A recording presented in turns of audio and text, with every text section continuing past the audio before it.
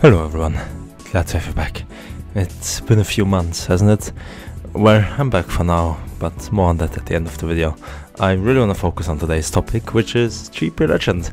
If you didn't know, I don't really talk that much about GP Legend on here, mainly because there isn't that much to talk about in the first place. The game is rather basic and most of the lore is in the anime, so the game doesn't really add that much to it, except story mode, but you probably know all about that by now. But there's one aspect of the game that I have been ignoring for a very long time. The zero test. On every single playthrough I rushed through it to get the machines locked behind it without really caring about the times. It only really matters that you beat the bronze time and everything else is just a bonus. Except if you go for completion, because then a gold time on every single test would be required. I initially thought it would be a simple task, because GP Legend is the easiest of all the Zero games in my opinion, but as you will see in just a moment, I was very surprised. I'm gonna go through every single test in order and tell you a little something about my experience. You will also see a full clear on it to get an idea of how to get a gold time yourself.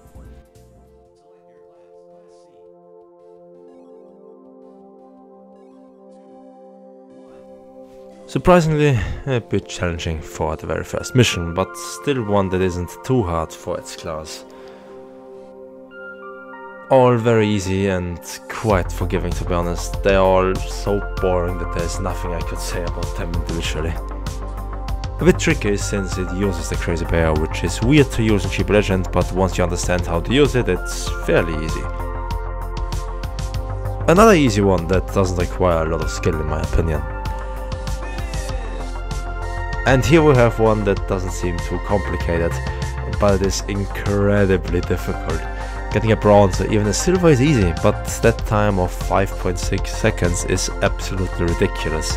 It took a while to get consistent 5.7 seconds, and eventually I managed to hit 5.68 seconds. I got better, but that 5.60 still seemed insane. But eventually, this happened.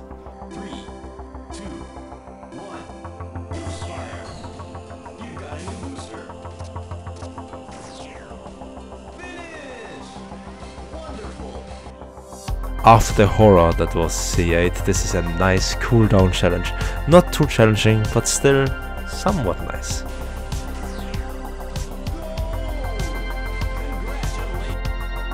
Seeing the Dragon Bird on this track is already scary enough, but it's just the base game, so we don't need to worry. This challenge is another one that took me a few attempts. I actually had to do it twice because I wasn't recording the first time I did it, but I got a better time on my record attempt, so I'll take it.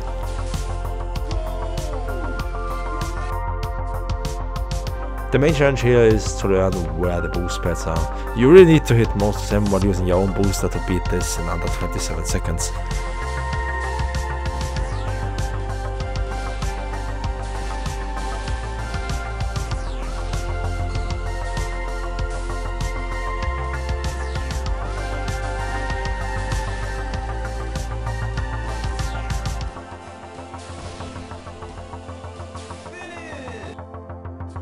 And finally, C12 is kinda challenging. A good mission for the end of Class C. At first I wasn't too sure if I should hit or avoid the mines, but at the end I managed to beat C12 the same way I managed to beat it boosters, but just hitting the right mines at the right time.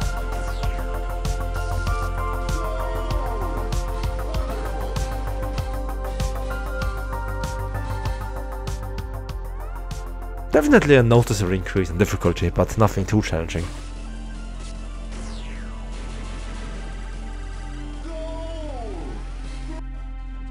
Sure we all know this little trick to get a free gold in the time of 0 seconds and since getting a gold time without doing this already requires the same route, it really isn't that difficult.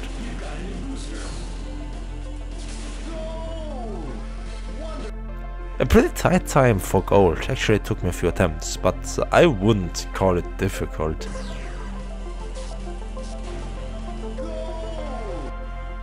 This may be the freest goal time you could achieve. I'm honestly surprised that goal time doesn't take this skip into consideration. Even without using it, a goal time is pretty easy to achieve.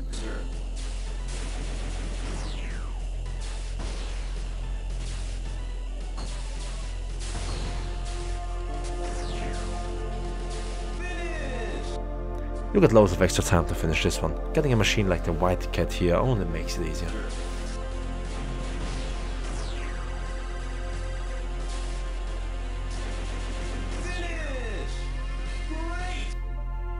About time we get another hard one. How fitting it's on the same track as the last really difficult one. The good thing here is I pretty much knew what to do to get a gold time. I just didn't execute it good enough. Until I did. Still pretty difficult in my opinion, but nowhere close to C8's difficulty.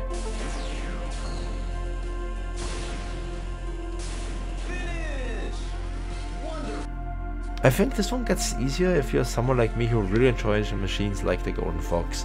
It slides easily, but not too much. It's pretty fun to use.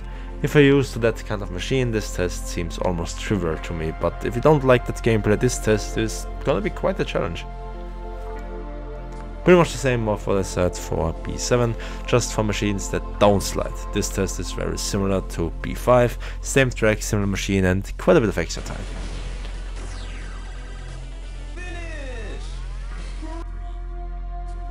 I think you can already tell that this isn't gonna be any harder than B2, just race like usual until here and then repeat the same move from B2 for an easy gold.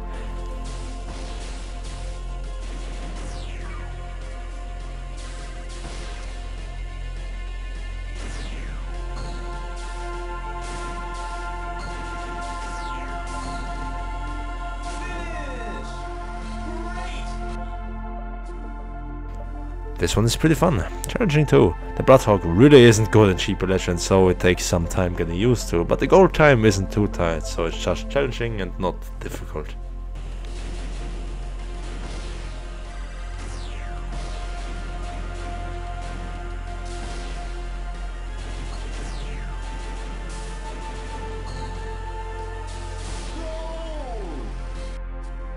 You really gotta take that jump. It saves a lot more time than I thought. The timer seems rather tight. I only managed to tie it. Pretty sure I could go a little bit faster though.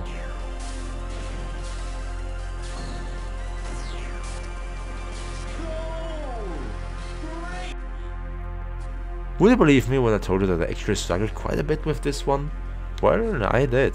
Part of it is because I absolutely hate getting a boost out with the Astro Robin, so most of them stop there. In general, the track is just annoying rather than difficult.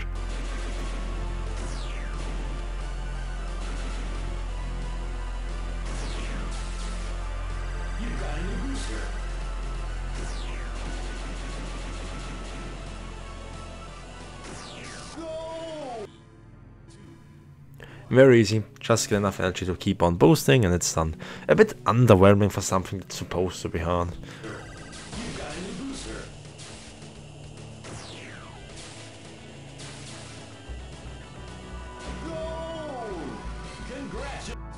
Two is alright, it's a bit harder than I anticipated, but only took a few attempts to get it done.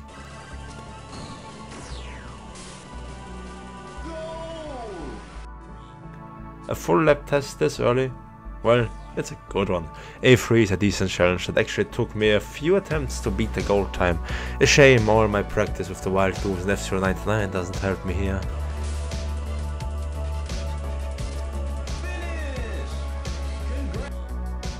But one thing I kept from F-Zero 99 is how to not mess up this turn on silence.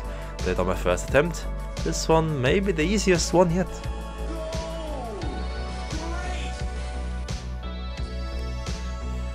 A5 is one of those tests that gets very easy once you realize that you can pretty much ignore the part that's supposed to be challenging. Just go straight through it and you get an easy gold. And from two easy ones, we go right into A6, which is very challenging. It took me way longer than I'd like to admit to even get times below 10 seconds, and even then it still took quite a few attempts to get a gold time. I really like this one though. The one that was bit interesting to use the track choice really requires you to use it effectively. This is the same exact test as A4, same track, very similar machine, same time needed for gold, a wasted test to be completely honest. There isn't much you can do wrong on this one. You're given the Blue Falcon, which is an excellent machine for turns like this, but this isn't the last time we are seeing this track, so I'm happy we get an easy test for now. The hardest part of A9 is knowing which path is the fastest. Once you got that down, you have loads of time. I'm sure I could have done better, but I still finished with that much time to spare.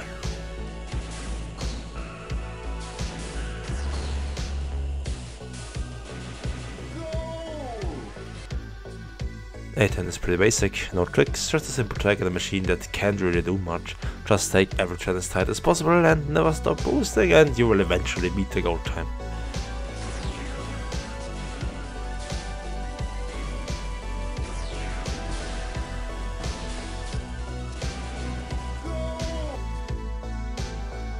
This test could have been a lot harder if given a different machine, but we can't change that, so here we are. A decent test that may take a handful of attempts, but if you apply what you learned in A5, you are already saving some time here.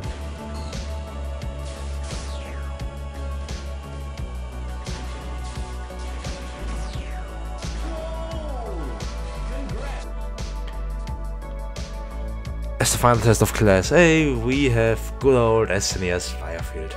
Always painful to see this trick, especially in F-Zero 99, but that's a different story. I expected this to be difficult and don't get me wrong, it may actually be a challenge for some of you, but even with this slight mistake I managed to beat the goal time by quite a bit so I'm not too impressed by this. Let's hope Class S has some more challenges.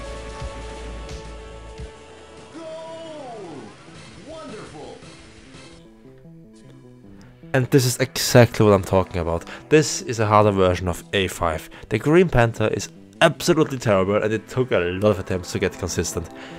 In the end, I barely managed to beat the goal time. And we are right back to something easier. Managed to get on my first attempt with a bit of time to spare. This isn't really challenging. Maybe with a different machine, but the Mighty Typhoon is pretty good for this.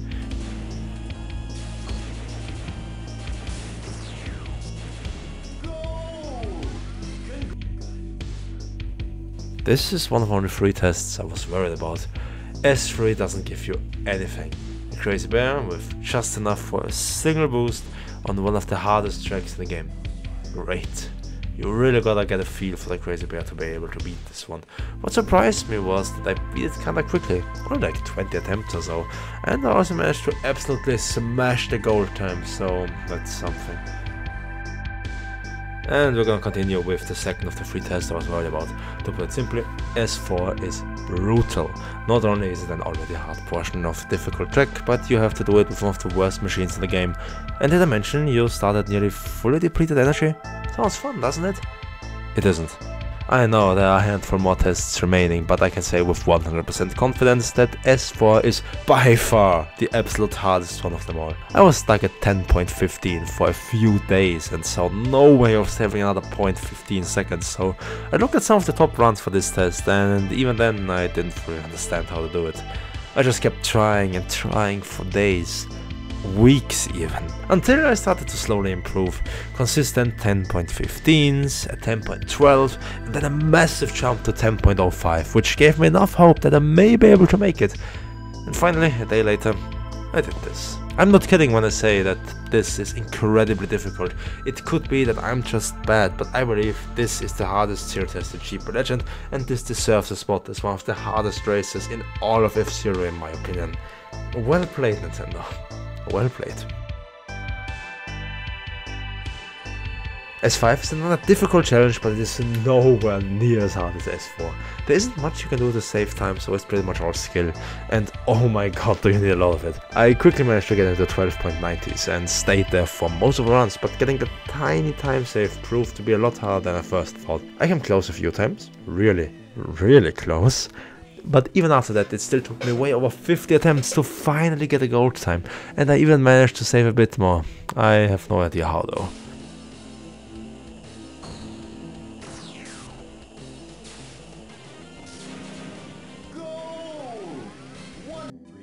And now we finally get a break from the hard ones with S6, another test that seemingly doesn't consider that large parts of the track can be skipped rather easily.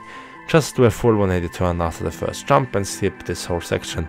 And if you want to do it a little bit differently, just use the second jump. And if for whatever reason you want to do it without skips, then what's wrong with you?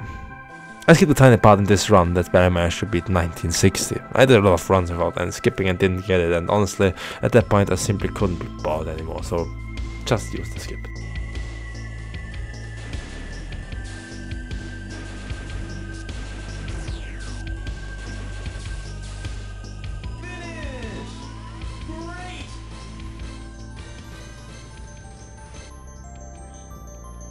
Here we have one that's basically free, not much that can go wrong here, apart from the jump at the end which can sometimes result in a lap not counting if you jump too far, but other than that S7 is incredibly easy.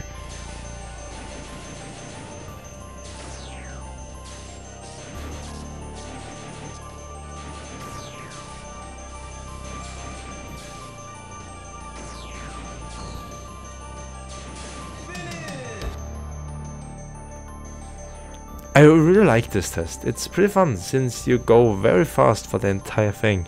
I'm pretty sure using the mines is gonna result in a better time, but I managed to be more consistent without them. Took me a handful of attempts, but I enjoyed it.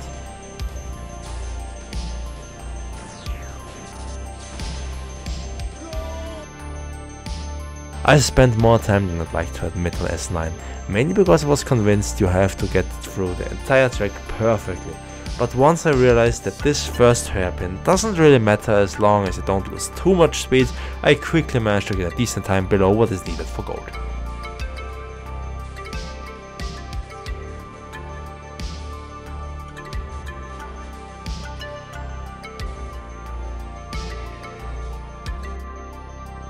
From one that gives you quite a bit of time to a test that requires near flawless execution. It's just a short level on easy track with a good machine, all you really gotta watch out for is to refill your boost. You really want to be boosting throughout the entire thing non-stop.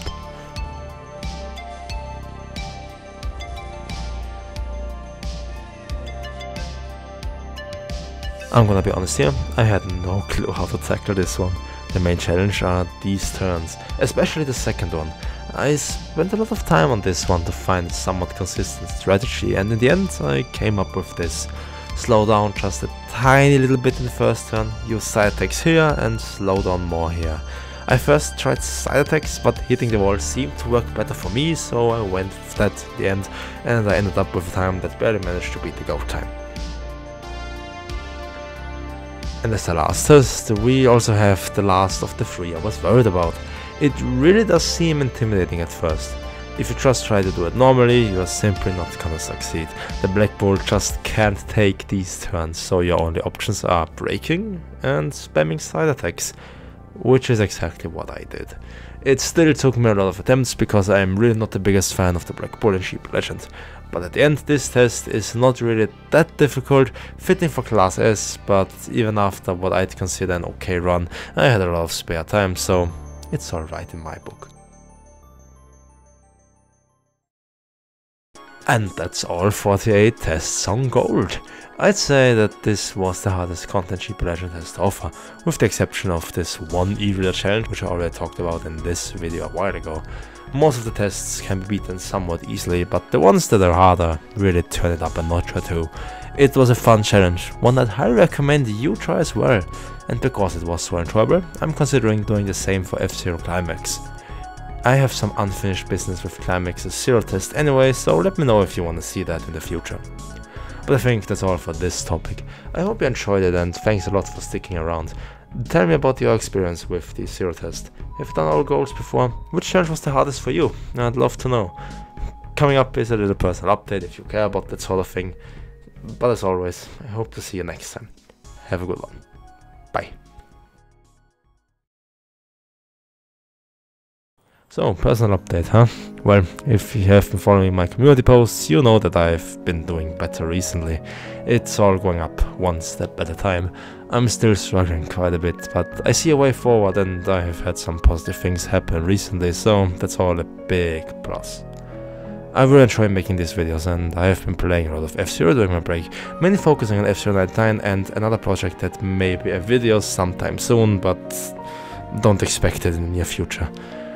I have one still unfinished video and more ideas that will be made at some point, but for now I really don't want to overdo it. Like I mentioned in my post, I have some excess energy and motivation which I use for this channel, but it's limited, and there are also other things I do with my free time. But all you really need to know is that I'm doing alright. It's all going better than before. Thank you again for sticking around, it really means more than you may think. I'll see you again soon enough.